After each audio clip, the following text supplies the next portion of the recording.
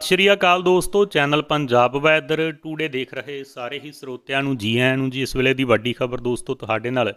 ਸਾਂਝੀ ਕਰ ਰਹੇ ਹਾਂ ਜੀ ਖਬਰ ਪੰਜਾਬ ਤੋਂ, ਜਿੱਥੇ ਸਵੇਰੇ 5 ਵਜੇ ਘਰ ਦੇ ਬਾਹਰ ਖੜੀ ਉਡੀਕ ਰਹੀ ਸੀ ਮੌਤ, ਸ਼ਾਹੀ ਇਲਾਕੇ 'ਚ ਸੋਗ ਦੀ ਲਹਿਰ। ਵੀਡੀਓ ਨੂੰ ਅੰਤ ਤੱਕ ਦੇਖਿਓ ਦੋਸਤੋ ਤੁਹਾਨੂੰ।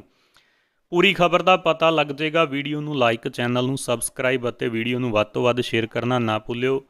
ਬਰਸਾਤ ਦੇ ਮੌਸਮ ਵਿੱਚ ਜਿੱਥੇ ਲੋਕਾਂ ਨੂੰ ਸੁਚੇਤ ਰਹਿਣ ਦੇ ਲਈ ਸਮੇਂ-ਸਮੇਂ ਤੇ ਅਪੀਲ ਕੀਤੀ ਜਾਂਦੀ, ਉੱਥੇ ਹੀ ਅਚਾਨਕ ਵਾਪਰਨ ਵਾਲੇ ਹਾਦਸੇ ਕਈ ਲੋਕਾਂ ਦੀ ਜ਼ਿੰਦਗੀ ਖਤਮ ਕਰ ਦਿੰਦੇ ਨੇ। ਪੰਜਾਬ ਦੇ ਵਿੱਚ ਸਵੇਰੇ 5 ਵਜੇ ਘਰ ਦੇ ਬਾਹਰ ਖੜੀ ਉਡੀਕ ਰਹੀ ਸੀ ਮੌਤ, ਜਿਸ ਕਾਰਨ ਇਲਾਕੇ ਦੇ ਵਿੱਚ ਸੋਗ ਦੀ ਲਹਿਰ ਫੈਲ ਗਈ ਆ। ਪ੍ਰਾਪਤ ਜਾਣਕਾਰੀ ਦੇ ਅਨੁਸਾਰ ਇਹ ਘਟਨਾ ਫਿਰੋਜ਼ਪੁਰ ਜ਼ਿਲ੍ਹੇ ਦੇ ਅਧੀਨ ਆਉਂਦੀ ਬਸਤੀ ਨਿਜ਼ਾਮਦੀਨ ਤੋਂ ਸਾਹਮਣੇ ਆਈ ਹੈ, ਜਿੱਥੇ ਇੱਕ ਵਿਅਕਤੀ ਦੀ ਮੌਤ ਹੋਣ ਦਾ ਸਮਾਚਾਰ ਪ੍ਰਾਪਤ ਹੋਇਆ। ਇਸ ਵਿਅਕਤੀ ਨੂੰ ਇੱਕ ਜ਼ਹਿਰੀਲੇ ਸੱਪ ਨੇ ਡਸ ਲਿਆ, ਜਿਸ ਕਾਰਨ ਇਸ ਵਿਅਕਤੀ ਦੀ ਮੌਕੇ ਤੇ ਮੌਤ ਹੋ ਗਈ। ਹਾਦਸਾ ਉਸ ਸਮੇਂ ਵਾਪਰਿਆ ਜਦੋਂ ਵਿਅਕਤੀ ਆਪਣੇ ਘਰ ਦੇ ਵਿੱਚ ਸਵੇਰ ਦੇ ਸਮੇਂ ਉੱਠ ਕੇ 5 ਵਜੇ ਦੇ ਕਰੀਬ ਘਰ ਤੋਂ ਬਾਹਰ ਆਇਆ ਸੀ, ਉਸ ਸਮੇਂ ਉੱਥੇ ਪਹਿਲਾਂ ਤੋਂ ਮੌਜੂਦ ਸੱਪ ਵੱਲੋਂ ਉਸ ਨੂੰ ਡੰਗ ਮਾਰ ਦਿੱਤਾ ਗਿਆ। ਇਸ ਵਿਅਕਤੀ ਦੇ ਗੰਭੀਰ ਹਾਲਤ ਨੂੰ ਦੇਖਦੇ ਹੋਏ ਪਹਿਲਾਂ ਸਰਕਾਰੀ ਹਸਪਤਾਲ ਵਿੱਚ ਲਿਜਾਇਆ ਗਿਆ, ਜਿੱਥੇ ਉਸ ਦੀ ਹਾਲਤ ਗੰਭੀਰ ਹੋਣ ਤੇ ਉਸ ਨੂੰ ਮੈਡੀਕਲ ਕਾਲਜ ਫਰੀਦਕੋਟ ਰੈਫਰ ਕਰ ਦਿੱਤਾ।